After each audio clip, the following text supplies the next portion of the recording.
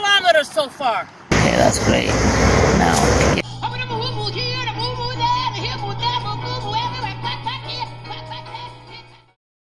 Last April, I was interviewed by Ify Chiwetelu from CBC Radio. She was it was an interview all about my health program and reclaiming my life. It was pretty it was pretty fun. And at the end of the interview, this is a question that she asked me and here's my answer. What's next? What's next for you? What's the next goal you're working towards? Huh. This summer, I'm going to go ahead and just say it say it to you. This summer I am going to ride my bike from Winnipeg to Portage la Prairie. That's 50 miles. I used to do a lot of bicycle touring. Um, so this is going to be a one day trip. I'm going to leave early in the morning and I'm going to do it. I know I can. Slowly. It's 50 miles. But you know what? I can ride one mile. So I ride one mile and then one more mile and do that 50 times and you've gone 50 miles. right? Yeah. So Wow, you you sounded even a little like nervous to say that out loud that that's a goal. Did you hear that? Ride my bike to, to Portage La Prairie. Are you kidding me right now? So a couple of months passed, and I'm sure you can relate to this, but after a couple of months, like around June, I said to myself, well, I'm doing great. I'm doing a lot of walking with my dog. I am riding my bike sometimes, but nobody's going to remember that I said I was riding my bike to Portage La Prairie, 50 miles. Are you kidding me right now? Nobody's going to remember, so forget it. Then in July, guess what? I got an email from Ify. Ify said, Hey, Leigh Anne, just following up, when are you planning to do that bike ride to Portage La Prairie? We want to do a follow up story. I'm like, oh, lordy.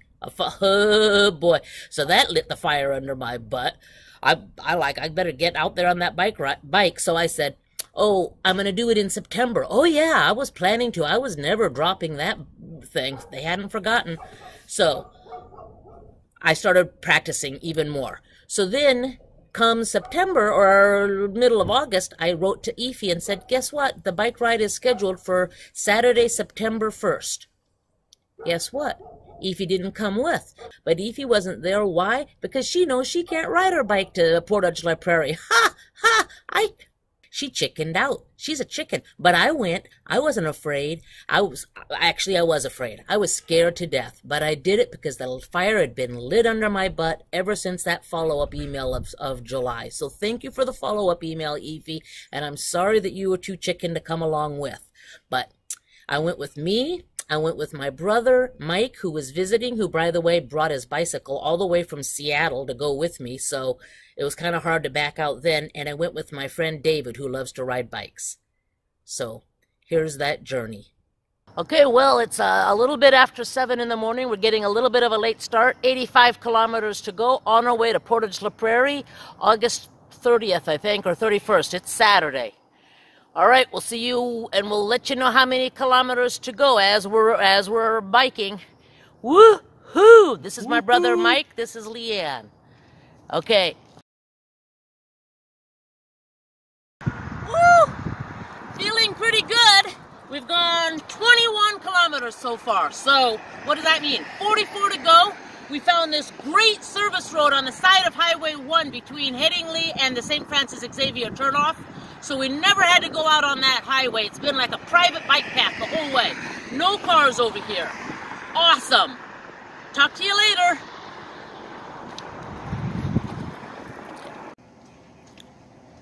Okay, we made it. St. Francis Xavier. We haven't made it to Portage La Prairie. St. Francis Xavier was 25 clicks, though. Oh, and by the way, we have 60 to go. I made a mistake last time when I said 40 something. Boy, was I ever optimistic. Here we are on St. Francis Xavier Road. Up, finally, a car. First one in about 10 minutes.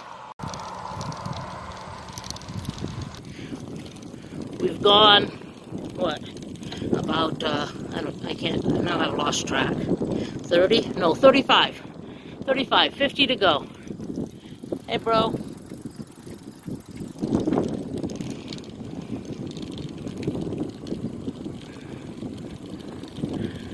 we are.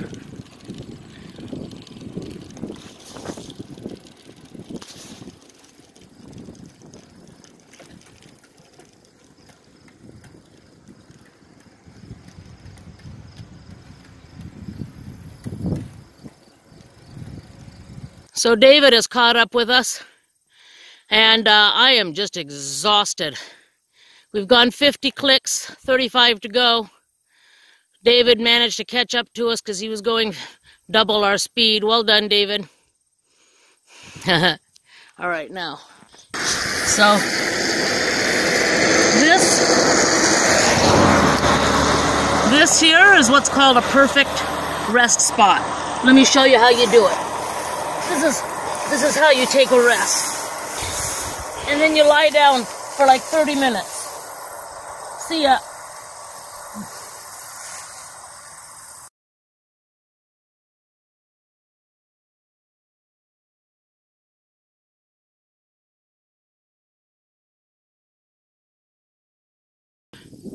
Woohoo!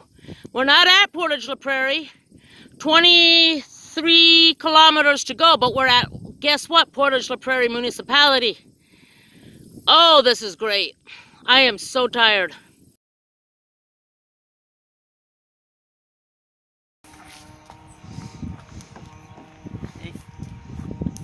So here we are in Poplar Point. We've gone really far. Poplar Point is great because they have a perfect church with a wall that you can lean against. And it's in the shade. And it's in the shade. Yeah, that's right, David. The best way to rest, by the way, remember this, is to lie all the way down like this. When you sit, you get like half rest. Okay, that's great. Now, get a picture of the whole area, including David. And scan around.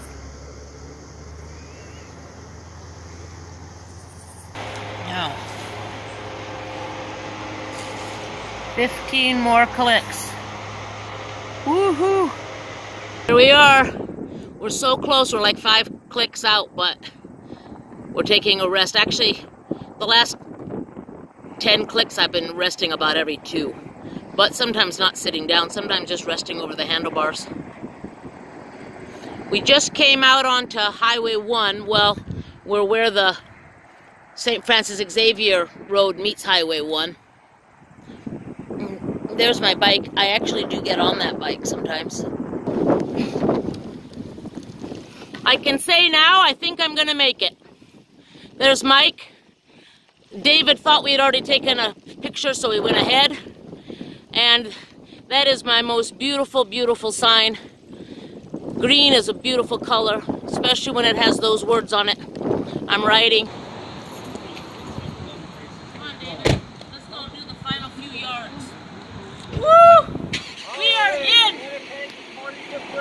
That's right, all the way. Winnipeg to Portage la Prairie. We did her, by the way, bullshit on 85 clicks, 89.5. But here we are. High five. High five, cameraman. Okay. Do you know what I think is like the greatest feeling ever, ever, ever, ever? It's being so exhausted your body is so depleted that you think you cannot move another mile. You just can't do it. And when you're so exhausted, the, the problem is it takes hours to get to that state.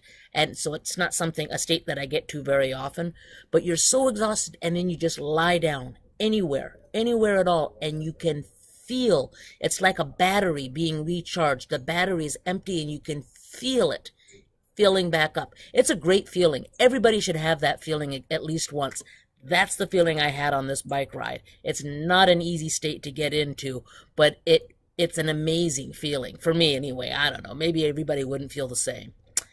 And that's it. I hope that inspires you to get out of your comfort zone, for you to get out there and do something physically active that will boost your uh, energy. And uh, I'll see you next week. I love you lots. Bye.